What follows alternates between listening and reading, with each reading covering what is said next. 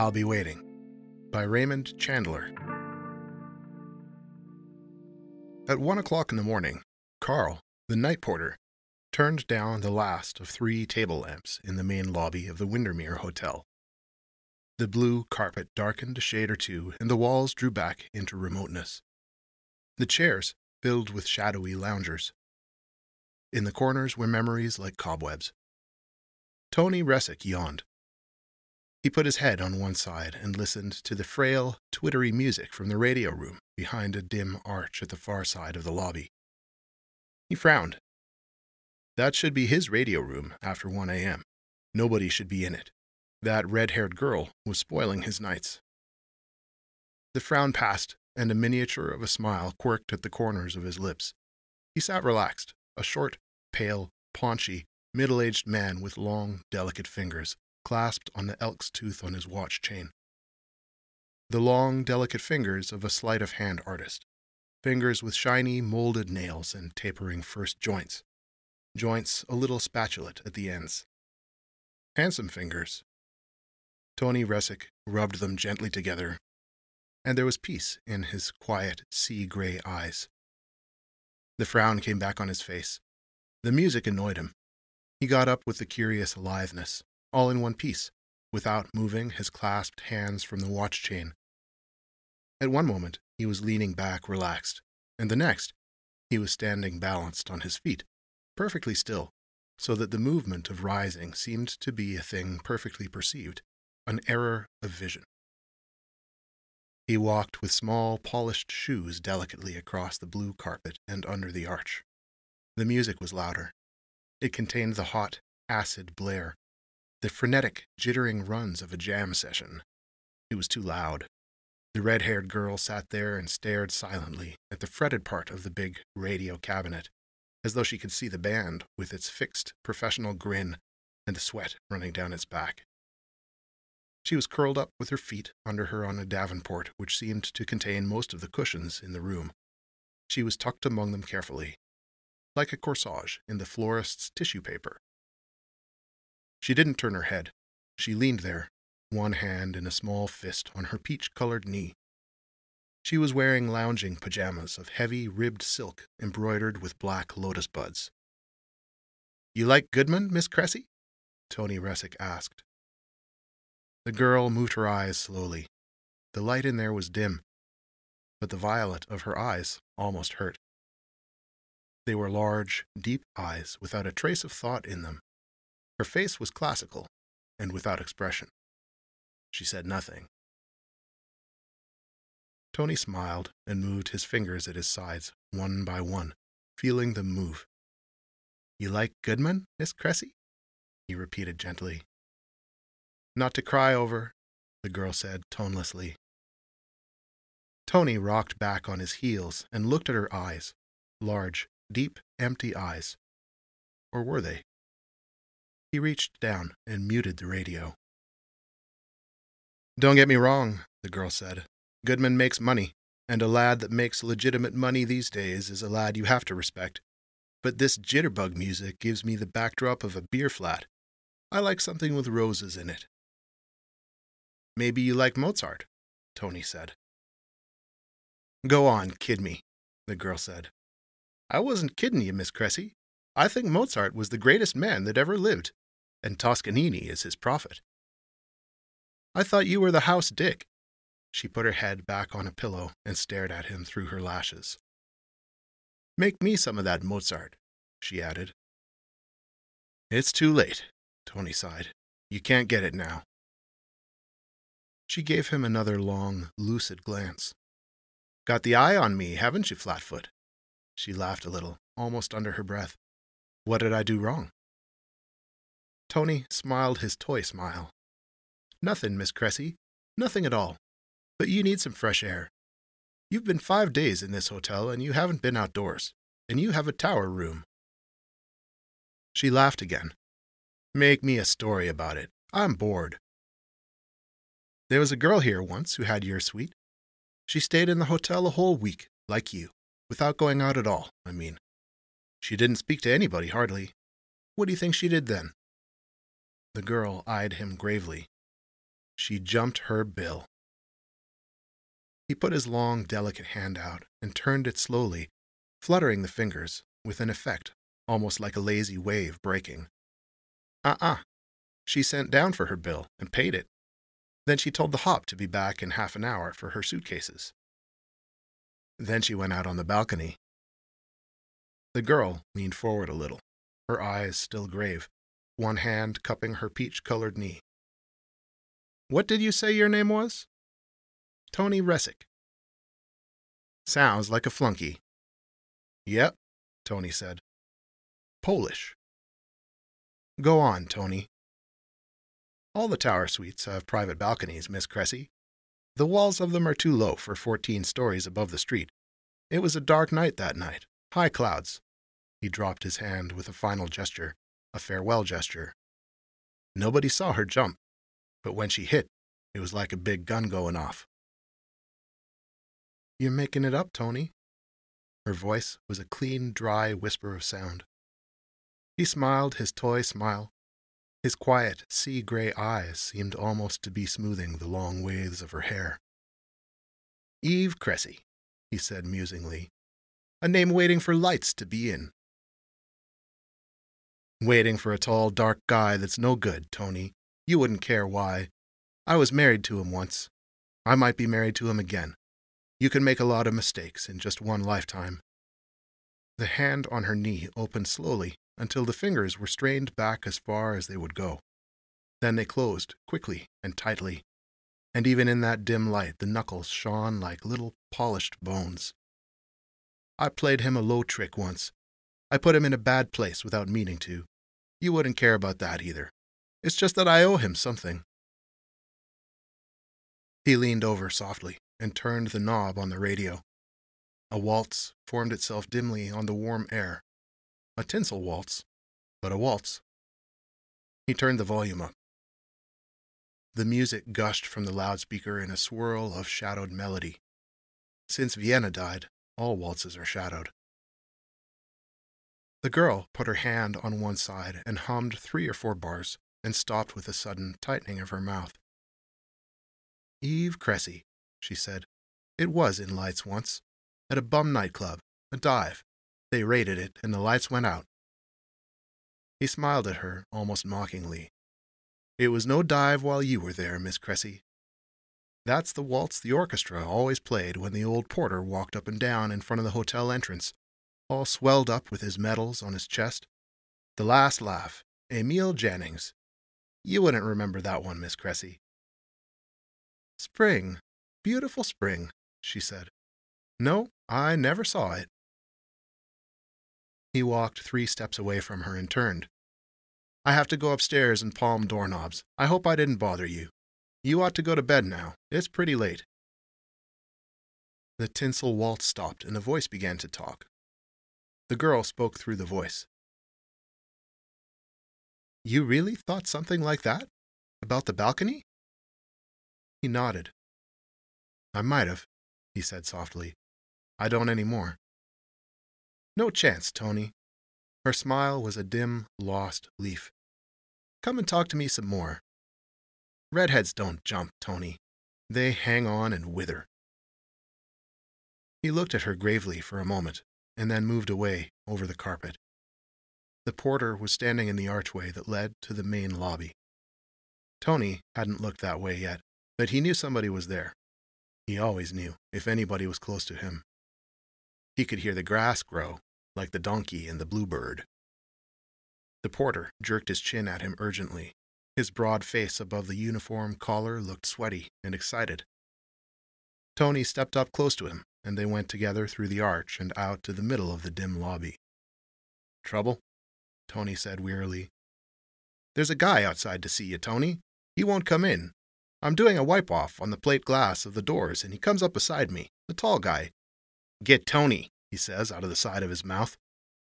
Tony said, Uh huh, and looked at the porter's pale blue eyes. Who was it? Al, he said to say he was. Tony's face became as expressionless as dough. Okay. He started to move off. The porter caught his sleeve. Listen, Tony, you got any enemies? Tony laughed politely. his face still like dough.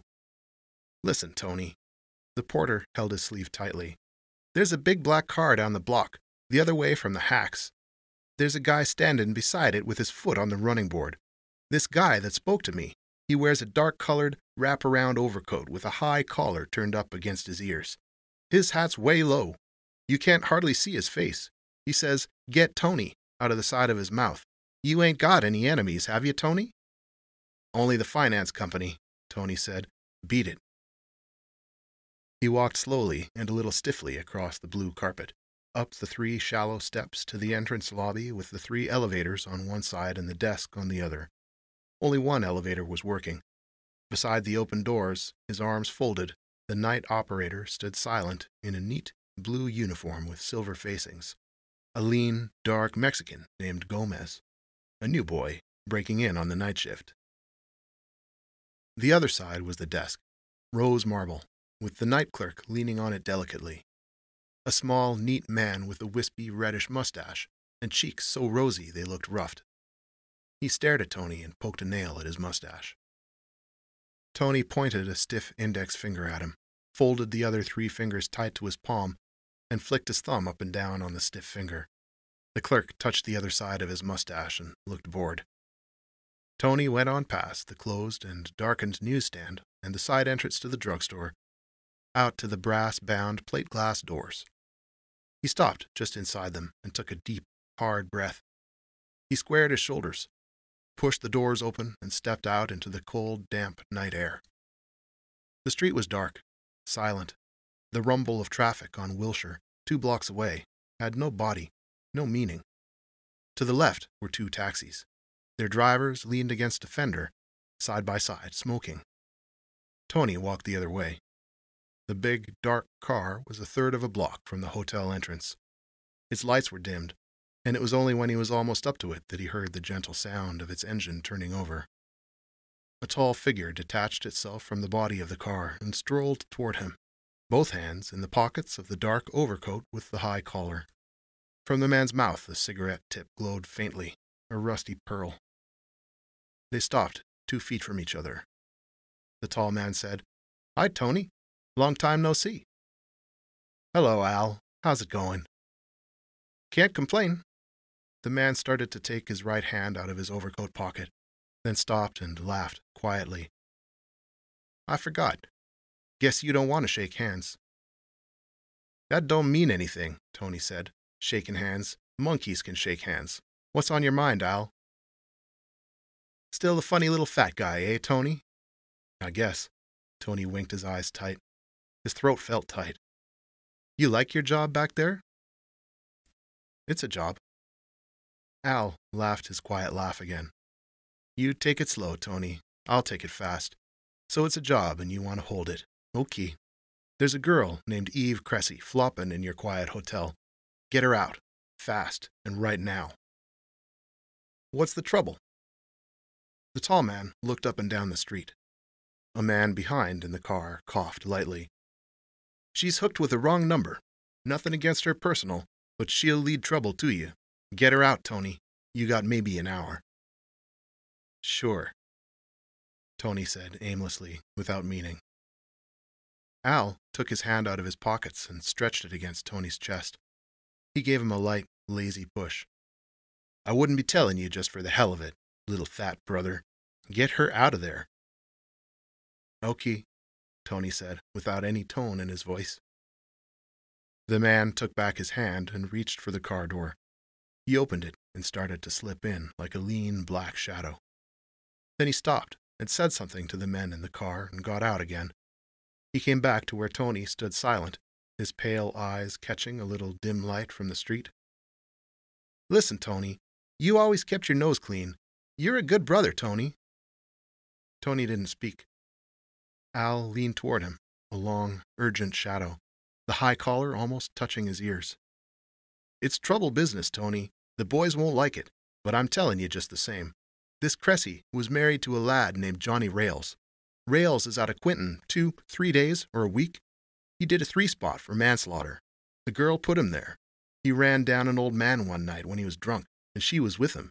He wouldn't stop. She told him to go in and tell it, or else. He didn't go in, so the Johns came for him. Tony said, That's too bad. It's kosher, kid. It's my business to know. This Rawls flapped his mouth in stir about how the girl would be waiting for him when he got out, all set to forgive and forget, and he was going straight to her. Tony said, What's he to you? His voice had a dry, stiff crackle like thick paper. Al laughed. The Trouble Boys want to see him. He ran a table at a spot on the strip and figured out a scheme. He and another guy took the house for fifty grand. The other lad coughed up, but we still need Johnny's twenty-five. The Trouble Boys don't get paid to forget. Tony looked up and down the dark street. One of the taxi drivers flicked a cigarette stub in a long arc over the top of one of the cabs. Tony watched it fall and spark on the pavement. He listened to the quiet sound of the big car's motor. I don't want any part of it, he said. I'll get her out. Al backed away from him, nodding. Wise kid.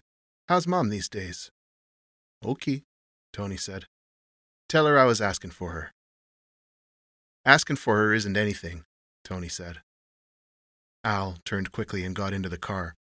The car curved lazily in the middle of the block and drifted back toward the corner. Its lights went up and sprayed on a wall. It turned a corner and was gone. The lingering smell of its exhaust drifted past Tony's nose. He turned and walked back to the hotel and into it. He went along to the radio room. The radio still muttered, but the girl was gone from the Davenport in front of it. The pressed cushions were hollowed out by her body. Tony reached down and touched them. He thought they were still warm. He turned the radio off and stood there, turning a thumb slowly in front of his body, his hand flat against his stomach. Then he went back through the lobby toward the elevator bank and stood beside a majolica jar of white sand. The clerk fussed behind a pebbled glass screen at one end of the desk. The air was dead. The elevator bank was dark.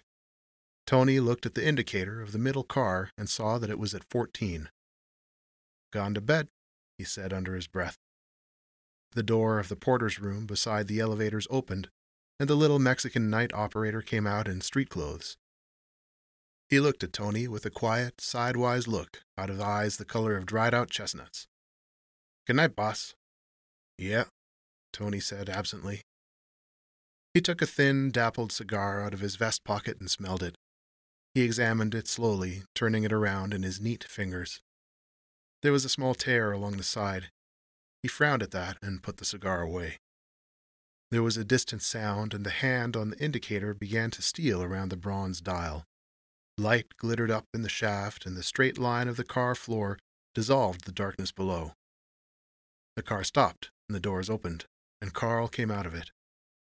His eyes caught Tony with a kind of jump, and he walked over to him, his head on one side, a thin shine along his pink upper lip. Listen, Tony. Tony took his arm in a hard, swift hand and turned him. He pushed him quickly, yet somehow casually, down the steps to the dim main lobby and steered him into a corner. He let go of the arm. His throat tightened again, for no reason he could think of. Well, he said darkly, listen to what? The porter reached into a pocket and hauled out a dollar bill. He gimme this, he said loosely. His glittering eyes looked past Tony's shoulder at nothing. They winked rapidly. Ice and ginger ale. Don't stall, Tony growled. Guy in 14B, the porter said. Let me smell your breath. The porter leaned toward him obediently. Liquor, Tony said harshly. He gimme a drink. Tony looked down at the dollar bill. Nobody's in 14B. Not on my list, he said. Yeah, there is. The porter licked his lips, and his eyes opened and shut several times. Tall, dark guy. All right, Tony said crossly. There's a tall, dark guy in 14B, and he gave you a buck and a drink. Then what? Gat under his arm, Carl said, and blinked. Tony smiled, but his eyes had taken on the lifeless glitter of thick ice. You take Miss Cressy up to her room? Carl shook his head. Gomez. Gomez? I saw her go up. Get away from me, Tony said between his teeth, and don't accept any more drinks from the guests. He didn't move until Carl had gone back into his cubbyhole by the elevators and shut the door. Then he moved silently up the three steps and stood in front of the desk, looking at the veined rose marble, the onyx pen set, the fresh registration card in its leather frame. He lifted a hand and smacked it down hard on the marble. The clerk popped out from behind the glass screen like a chipmunk coming out of its hole. Tony took a flimsy out of his breast pocket and spread it on the desk. No 14B on this, he said in a bitter voice. The clerk wisped politely at his mustache. So sorry. You must have been out to supper when he checked in. Who? Registered as James Watterson, San Diego. The clerk yawned. Ask for anybody? The clerk stopped in the middle of the yawn and looked at the top of Tony's head. Why, yes. He asked for a swing band. Why? Smart, fast, and funny, Tony said, if you like him that way. He wrote on his flimsy and stuffed it back into his pocket. I'm going upstairs and palm doorknobs. There's four tower rooms you ain't rented yet. Get up on your toes, son. You're slipping. I made out, the clerk drawled and completed his yawn. Hurry back, Pop. I don't know how I'll get through the time. You could shave that pink fuzz off your lip, Tony said, and went across to the elevators. He opened up a dark one and lit the dome light and shot the car up to 14. He darkened it again, stepped out, and closed the doors. This lobby was smaller than any other, except the one immediately below it. It had a single blue paneled door on each of the walls, other than the elevator wall. On each door was a gold number and letter with a gold wreath around it. Tony walked over to 14A and put his ear to the panel. He heard nothing. Eve Cressy might be in bed asleep, or in the bathroom, or out on the balcony, or she might be sitting there in the room, a few feet away from the door, looking at the wall. Well, he wouldn't expect to be able to hear her sit and look at the wall. He went over to 14B and put his ear to that panel. This was different. There was a sound in there. A man coughed. It sounded somehow like a solitary cough. There were no voices. Tony pressed the small nacre button beside the door. Steps came without hurry. A thickened voice spoke through the panel. Tony made no answer, no sound. The thickened voice repeated the question, lightly, maliciously. Tony pressed the bell again. Mr. James Watterson, or San Diego, should now open the door and give forth noise. He didn't. A silence fell beyond that door that was like the silence of a glacier. Once more, Tony put his ear to the wood. Silence, utterly. He got out a master key on a chain and pushed it delicately into the lock of the door. He turned it, pushed the door inward three inches, and withdrew the key. Then he waited. All right, the voice said harshly. Come in and get it. Tony pushed the door wide and stood there, framed against the light from the lobby. The man was tall, black haired, angular, and white faced. He held a gun. He held it as though he knew about guns. Step right in, he drawled. Tony went in through the door and pushed it shut with his shoulder. He kept his hands a little out from his sides, the clever fingers curled and slack. He smiled his quiet little smile. Mr. Watterson? And after that, what? I'm the house detective here.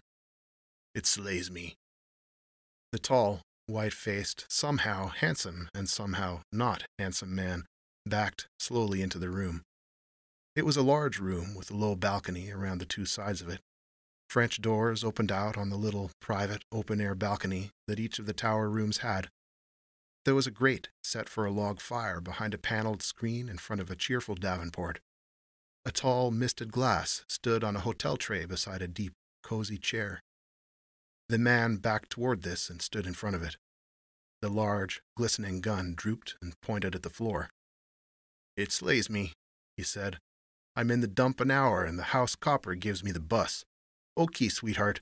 Look in the closet and bathroom, but she just left. You didn't see her yet, Tony said. The man's bleached face filled with unexpected lines. His thickened voice edged toward a snarl. Yeah? Who didn't I see yet? A girl named Eve Cressy. The man swallowed. He put his gun down on the table beside the tray. He let himself down into the chair backwards, stiffly, like a man with a touch of lumbago. Then he leaned forward and put his hands on his kneecaps and smiled brightly between his teeth. So she got here, huh? I didn't ask about her yet. I'm a careful guy. I didn't ask yet. She's been here five days, Tony said, waiting for you. She hasn't left the hotel a minute. The man's mouth worked a little. His smile had a knowing tilt to it. I got delayed a little up north, he said smoothly. You know how it is, visiting old friends. You seem to know a lot about my business, Copper. That's right, Mr. Rails. The man lunged to his feet, and his hand snapped at the gun. He stood leaning over, holding it on the table, staring. Dames talk too much, he said, with a muffled sound in his voice as though he held something soft between his teeth and talked through it. Not dames, Mr. Rails. Huh? The gun slithered on the hard wood of the table. Talk it up, Copper. My mind reader just quit. Not dames. Guys. Guys with guns. The glacier silence fell between them again. The man straightened his body out slowly, his face was washed clean of expression, but his eyes were haunted. Tony leaned in front of him, a shortish, plump man with a quiet, pale, friendly face and eyes as simple as forest water. They never run out of gas, those boys, Johnny Rail said, and licked at his lip. Early and late they work. The old firm never sleeps. You know who they are? Tony said softly. I could maybe give nine guesses, and twelve of them would be right? The trouble, boys, Tony said, and smiled a brittle smile. Where is she? Johnny Rails asked harshly. Right next door to you. The man walked to the wall and left his gun lying on the table. He stood in front of the wall, studying it. He reached up and gripped the grillwork of the balcony railing. When he dropped his hand and turned, his face had lost some of its lines. His eyes had a quieter glint. He moved back to Tony and stood over him. I've got a stake, he said. Eve sent me some dough, and I built it up with the touch I made up north. Case dough, what I mean. The trouble boys talk about 25 grand. He smiled crookedly. Five C's I can count. I'd have a lot of fun making them believe that, I would. What did you do with it? Tony asked indifferently. I never had it, Copper. Leave that lay. I'm the only guy in the world that believes it. It was a little deal that I got suckered on. I'll believe it, Tony said. They don't kill often, but they can be awful tough. Mugs, Tony said with sudden, bitter contempt. Guys with guns. Just mugs. Johnny Rails reached for his glass and drained it empty. The ice cubes tinkled softly as he put it down. He picked his gun up, danced it on his palm, then tucked it nose down, into an inner breast pocket. He stared at the carpet. How come you're telling me this, Copper? I thought maybe you'd give her a break. And if I wouldn't? I kind of think you will, Tony said. Johnny Rails nodded quietly. Can I get out of here? You could take the service elevator to the garage. You could rent a car. I can give you a card to the garage man. You're a funny little guy, Johnny Rails said. Tony took out a worn ostrich skin billfold and scribbled on a printed card. Johnny Rails read it and stood holding it, tapping it against a thumbnail. I could take her with me, he said, his eyes narrow. You could take a ride in a basket, too, Tony said. She's been here five days. I told you. She's been spotted. A guy I know called me up and told me to get her out of here. Told me what it was all about so I'm getting you out instead. They'll love that, Johnny Rails said. They'll send you violets. I'll weep about it on my day off. Johnny Rails turned his hand over and stared at the palm. I could see her, anyway, before I blow. Next door to here, you said? Tony turned on his heel and started for the door. He said over his shoulder, Don't waste a lot of time, handsome. I might change my mind. The man said, almost gently. You might be spotting me right now, for all I know. Tony didn't turn his head. That's a chance you'll have to take. He went on to the door and passed out of the room. He shut it carefully, silently, looked once at the door of 14A, and got into his dark elevator. He rode it down to the linen room floor and got out to remove the basket that held the service elevator open at that floor. The door slid quietly shut. He held it so that it made no noise. Down the corridor, light came from the open door of the housekeeper's office. Tony got back into his elevator and went on down to the lobby. The little clerk was out of sight behind his pebbled glass screen, auditing accounts. Tony went through the main lobby and turned into the radio room. The radio was on again, soft. She was there, curled up on the Davenport again. The speaker hummed to her, a vague sound so low that what it said was as wordless as the murmur of trees. She turned her head slowly and smiled at him. Finished palming doorknobs? I couldn't sleep worth a nickel, so I came down again, okay? He smiled and nodded. He sat down in a green chair and parted the plump brocade arms of it. Sure, Miss Cressy. Waiting is the hardest kind of work, isn't it? I wish you'd talk to that radio. It sounds like a pretzel being bent. Tony fiddled with it, got nothing he liked, set it back where it had been. Beer parlor drunks are all the customers now. She smiled at him again. I don't bother you being here, Miss Cressy? I like it. You're a sweet little guy, Tony. He looked stiffly at the floor, and a ripple touched his spine. He waited for it to go away. It went slowly. Then he sat back, relaxed again, his neat fingers clasped on his elk's tooth. He listened. Not to the radio, to far off, uncertain things, menacing things, and perhaps to just the safe whir of wheels going away into a strange night. Nobody's all bad, he said out loud. The girl looked at him lazily. I've met two or three I was wrong on then. He nodded. Yeah, he admitted judiciously. I guess there's some that are. The girl yawned, and her deep violet eyes half closed. She nestled back into the cushions. Sit there for a while, Tony. Maybe I could nap. Sure, not a thing for me to do. Don't know why they pay me. She slept quickly and with complete stillness, like a child. Tony hardly breathed for ten minutes. He just watched her, his mouth a little open. There was a quiet fascination in his limpid eyes, as if he was looking at an altar. Then he stood up with infinite care and padded away under the arch to the entrance lobby and the desk. He stood at the desk listening for a little while. He heard a pen rustling out of sight.